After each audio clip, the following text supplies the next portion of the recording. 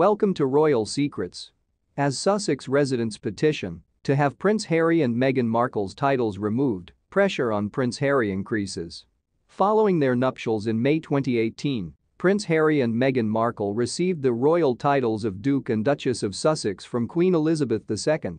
Since then, Harry and Markle have come under intense media scrutiny. In 2020, they resigned from their senior royal positions and relocated to Montecito, California.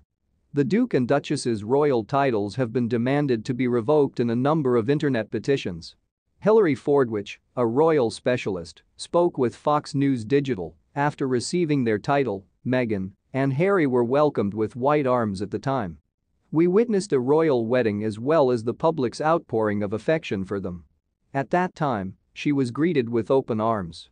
Remember that Prince Harry was a fan favorite. Although he has fallen in the polls, he was one of the royal favorites. Harry has come under media and public criticism since since the people's opinion of him decreased and internet petitions became more popular. Following the couple's relocation to the United States, the parallel parliament submitted a petition with the following description. The title was bestowed upon them during their wedding on the grounds that they would serve the kingdom as working royals. This title may not be exploited for personal financial advantage as it is no longer valid. As a result, it serves no use and needs to be removed. What could come next for Markle and Harry is as follows. Following their nuptials in May 2018, Prince Harry and Meghan Markle were given the titles of Duke and Duchess of Sussex. Harry's father, King Charles III, has continued to confer Harry and Markle with their royal titles following the passing of Queen Elizabeth. Prince Henry of Wales has been awarded a dukedom by the Queen today. His titles will be Baron Kilkeel, Earl of Dumbarton, and Duke of Sussex after the wedding day of the pair, the royal website reported. Following their marriage, Ms. Meghan Markle will become Her Royal Highness the Duchess of Sussex and Prince Harry will become His Royal Highness the Duke of Sussex. As the family's senior royals, Harry and Markle retired in 2020 and set their sights on California. Archie, age 3, and Lilibet, age 1, are being raised by the couple in a $14 million house they bought in Montecito, California.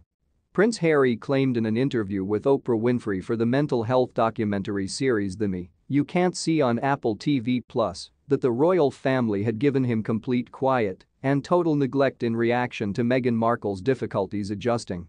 Harry revealed that he and his wife decided to take a break after requesting assistance from the royal family for years and experiencing absolute silence. He continued, we tried to make it work for four years. We exerted every effort to remain there and continue doing the duties of the position. But Meghan was having trouble. During a surprise appearance with Oprah Winfrey in March 2021, Meghan and Harry faced intense criticism. Markle leveled serious allegations of racism against a royal family. Markle revealed that Harry and a family member had a discussion about how dark their baby was going to be they preferred that he not be a prince or princess, depending on the gender Markle referred to her kid Archie before he was even born. He would not be given security.